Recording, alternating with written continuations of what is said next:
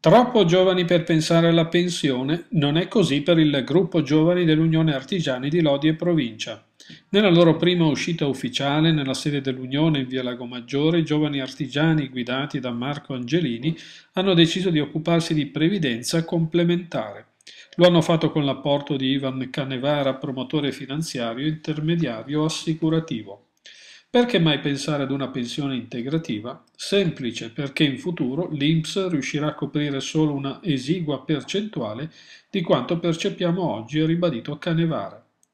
A cosa ricorrere allora? Fra i tanti strumenti proposti oggi, l'esperto si è soffermato su quelli regolamentati dal decreto 252 del 2005, vale a dire fondi pensione, piani assicurativi e fondi preesistenti con un'avvertenza fare sempre attenzione a, a ciò che ci viene proposto.